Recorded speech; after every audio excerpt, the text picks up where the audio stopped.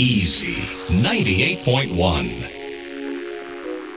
I am here with TruTV's The Tenderloins. So tell me, uh, Tenderloins, would that be your superhero trio name as well? Yes. if we had to fight crime, it's like, look out, here come the tenderloins. Yeah. I'm thinking, I don't know what my superpower would be. Maybe naps. you think super naps? Yeah, your, yeah, your power would be napping. Oh, I thought you mean Oh, you'd make great. people take a nap, like if they were Oh, causing no, trouble. no, no, no. I just just came from a nap just now. That's funny. Okay, if you have to think on the spot, have you, have you played any practical jokes while you've been here?